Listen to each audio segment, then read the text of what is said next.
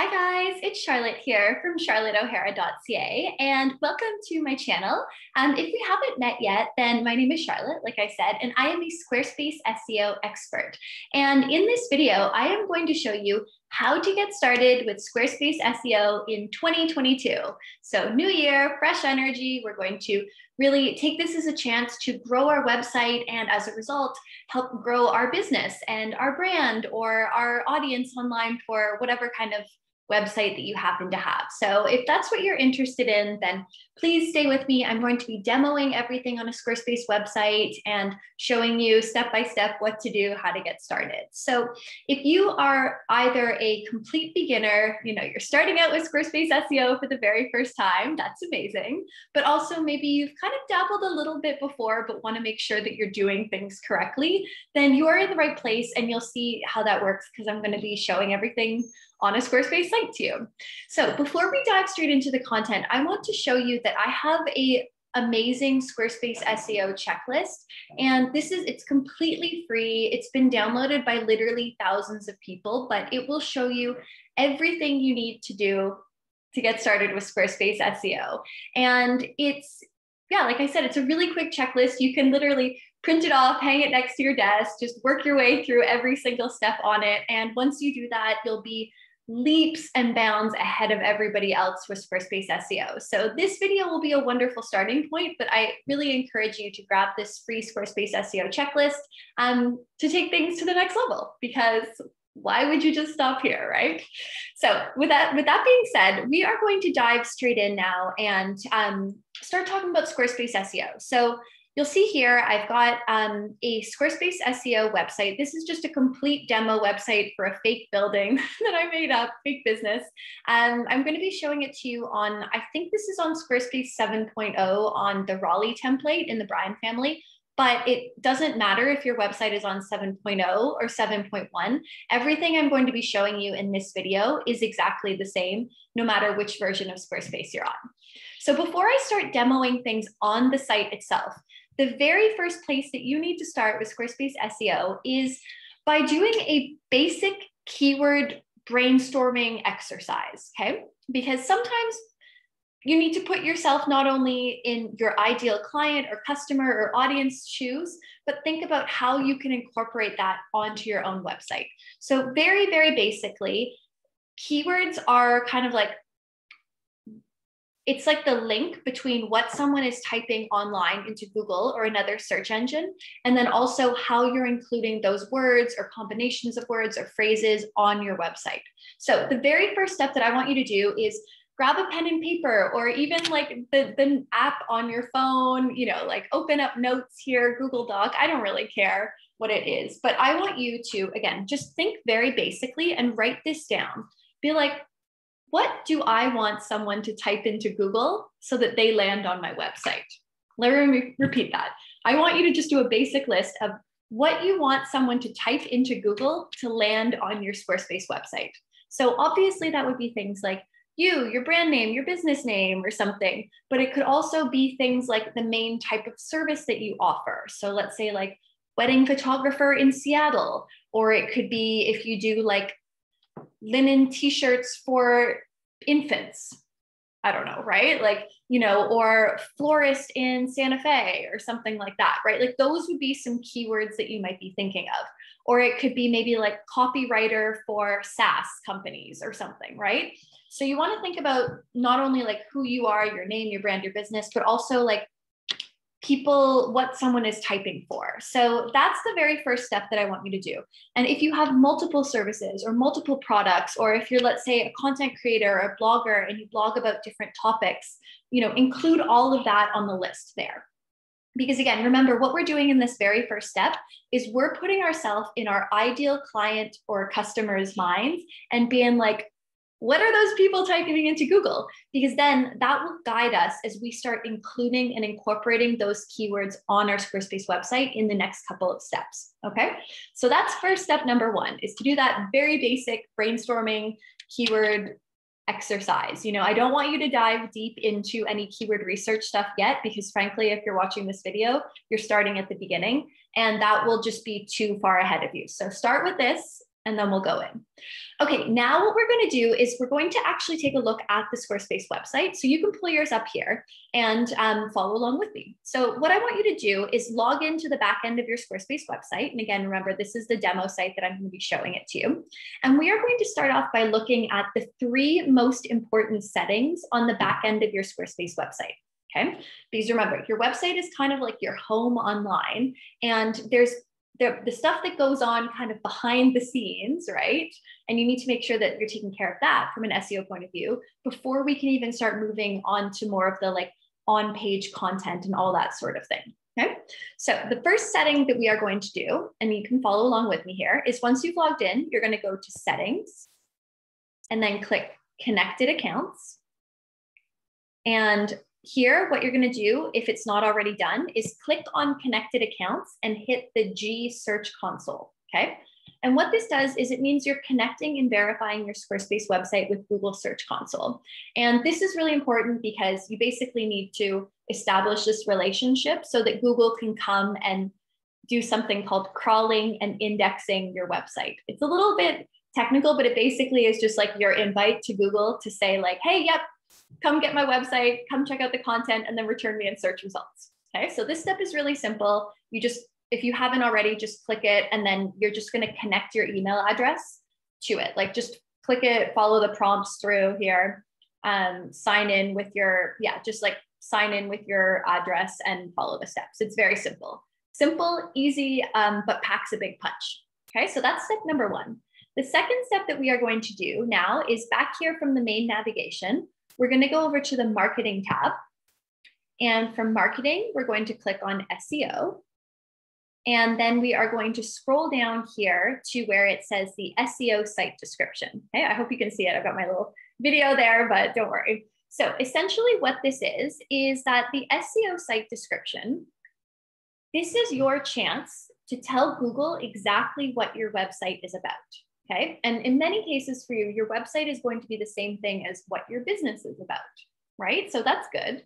Um, so what I want you to do is again, refer back to that list that you wrote with all of the keywords and stuff.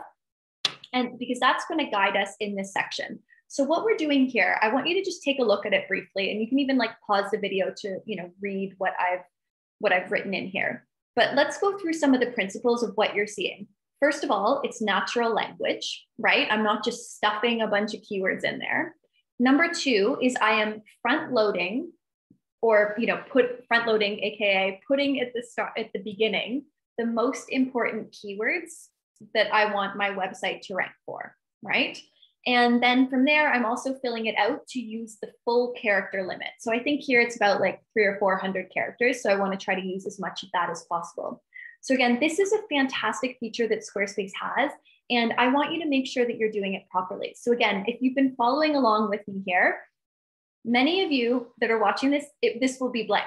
And that's okay, no worries, because now you're here and you can fill it out. But if you're here and you're taking a look and being like, yo, mine doesn't look that good, or I haven't included keywords, or it's a little bit short, or I didn't front load the most important things, then I want you to just hit pause on this video and take a minute to just write it out here. So again, natural language, front load the most important keywords towards the start of the SEO description. And then number three is use a lot of as much of the character limit as you can, really. And again, the reason why we want to front load the most important keywords to the start is if you click here under search appearance, this is basically just like a preview of what happens if your Squarespace website shows up in a Google search result. So you can see that like not the whole thing is going to show up, right? And a real person is going to see this in the Google search results. So you need to have natural language, but you also, again, want to front load it because if someone's just skimming the first few lines, you want them to be like, yeah, okay, cool, that's exactly what I want. And then last but not least on this little section, optionally, you can fill this out. So the SEO title format, the default will just be your site title. So like whatever you have kind of in the site title section, but you can always add a little bit more text to make it more keyword rich. So, you know, in this case, maybe I put the location or you could put like you know, the type of business that you have or something like that. Okay. So then save. So that's what you're going to do for step number two. Okay.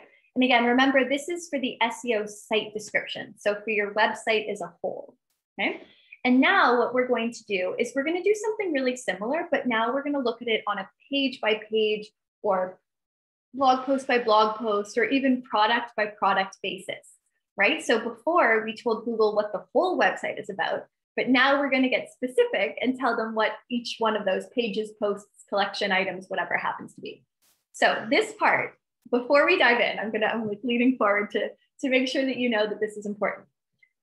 The thing I want to emphasize here is that you need to get specific about each page, okay? And you think about it because again, when you're looking at like the portfolio page versus the contact page, when you're like, well, let me show you first of all how to open it. So let's say with this contact page, um, for any of the pages, you're going to click on the gear icon, open the page settings, click SEO. And then down here, again, you're going to fill out the SEO description section. Okay. And um, so that's what we're going to be doing. So again, think about the, the what we're filling this out here natural language, keyword rich, and front load the most important keywords. And then number three is generally speaking, you want to try to use as much of the keyword limit as possible. But in the case of a contact page, like there's only so much you could say about a contact page. However, the character limit is going to be much more important when you start moving on, let's say, like one of the services pages or the portfolio, right? Like you're going to want to use the full character limit there.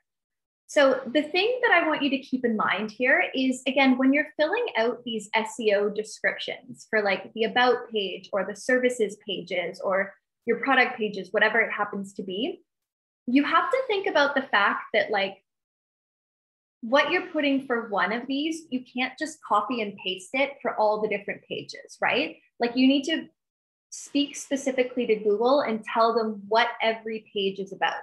So, you know, again, just don't copy and paste the same thing for everyone.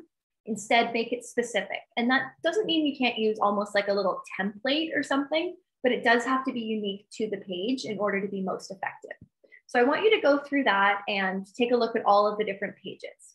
And then once you've done the pages, you're going to do something similar with the blog posts too. So I'll just show you this. For example, um, you know, open up a blog post here. And then under the post settings, you can see that there's the SEO tab. And again, this is like, what, what am I doing here? Tell Google what the blog post is about. Use keywords. Don't just copy the introduction from it, right? Because you want to front load the most dominant keywords associated with your website, the main topics you're covering in this blog post. And then, you know, if you have space, you can say like, read the post now or something like that. Okay. So, and then same thing too, if you have products, like if you do e-commerce or something, you'll want to fill out the SEO descriptions for those ones as well. Okay. So again, that is the third point that I want you to think about. And again, just to reiterate, it's that you're filling out the SEO descriptions for all the different pages, blog posts, products, pages, galleries, whatever it happens to be on your Squarespace website. Okay. And then the last point that I want you to think about on how you can get started with Squarespace SEO um, on your Squarespace website in 2022 is that you need to think about, first of all, what content do you have on your website and how does that match up with the list that you just did? Okay, so think about the different services pages that you have or the different product pages that you have or something like that. You need to ask yourself like are you creating enough specific content around each one of these like key pillars of keywords that you want or are there some gaps that you need to fill out? And so in that case, this step, the, the last step that we're talking about here is you need to audit the pages and the content on your site. So in one case, you might look and be like, oh yeah, like, you know, the I've got good pages, but I'm not really blogging and taking advantage of that new content. So in that case, you would start blogging or start blogging more effectively. Or you might be looking and being like, hey, I've got like all my services pages on one, all my services stuff on one page. So that's actually really conflicting for SEO. So instead, you would like break it down um, and have separate pages for each one of your services, right? Or same thing with your products. Maybe you're just shoving it all on one page when instead you should be like breaking it out a bit more. Or you're thinking, hey, like I have something on a page on my website, but I don't even need it anymore. Then come on in here and like clean it up, you know, delete it. So doing this audit of your content that you have on the website and then coming up with ways that you can improve it and make it more SEO friendly will be really, really helpful. Okay. So, my friend, that is a brief introduction on how you can get started with Squarespace SEO in 2022. I hope you found it helpful. Um, we covered some basic brainstorming for keywords, we covered some settings, and then we talked briefly about the actual pages and content of itself and thinking about it on a more SEO friendly way. So, this is information that I share with all of my clients, with the students in my programs, um, anything like that. So, you know, here you are getting it today in the most updated and simplified form. And I really hope you found it useful. So before you go, don't forget that there is the Squarespace SEO checklist. And um, if you liked this video so far, then I know that you're going to love all the points that we talk about in the checklist because it's just like it goes to such a better level. And again, it's step by step, follow along each point on your Squarespace website and you can go for it. And also here, I wanted to say that my website, oh, should have opened it up here, is um, charlotteohara.ca.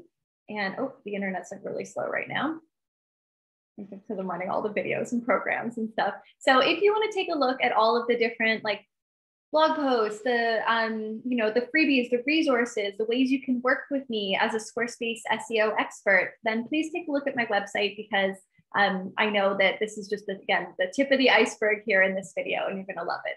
So if you liked this video, please like the video or leave me a comment down below. I'll be taking a look and see if there's any questions or stuff too, if you have that.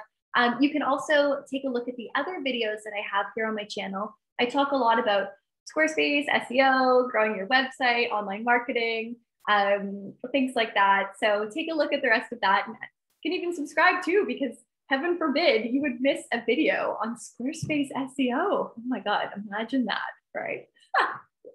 All right, my friends, that's it. Thank you so much for watching. Thank you for joining me here in this video, and I will see you again in the next one.